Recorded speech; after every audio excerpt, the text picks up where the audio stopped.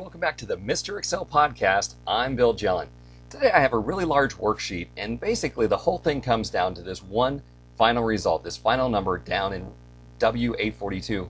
My problem is that most of the assumptions for this worksheet are back up at the top in columns A through H, row 1 through 15 or something like that. And so I find myself constantly going back and forth, back and forth to see if the changes I made at the top of the worksheet had any effect on this final result.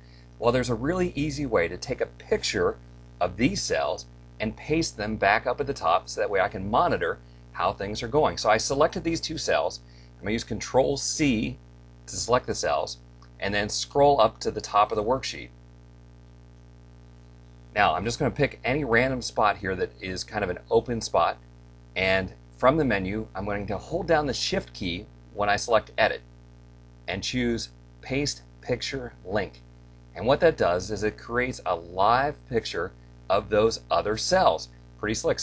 And so if I change the numbers up here, say that we change the number of stores or something like that, I'll be able to instantly see the effect of that other cell. When I click here, you'll see that it is an object. In the formula bar, it shows me where the object is coming from. It's a pretty slick little trick.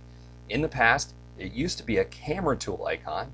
You might see some articles on the web about using the camera tool, but today, hold down the shift key while you access the edit menu for paste picture link. Great way to keep an eye on some far away cells. Hey, thanks for stopping by. We'll see you tomorrow for another podcast from Mr. Excel.